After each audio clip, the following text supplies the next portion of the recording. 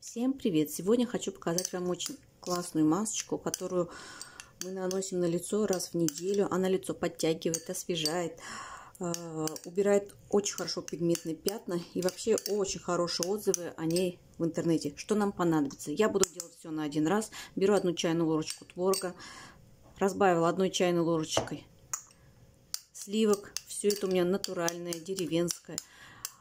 У меня вообще все это козье, из козьи из козьего молока, творог из козьего молока, сливки из козьего молока. Если у вас нету козьего, то, пожалуйста, можно и коровье. И сюда же берем одну чайную ложечку куркумы. Вообще свойства куркумы очень хорошо везде описаны и очень хорошо про них рассказывают, что из куркумы делают такие вещи, которые так хорошо помогают нашему организму. Вот как я жила до этого и не знала, что куркума имеет такие классные, хорошие свойства.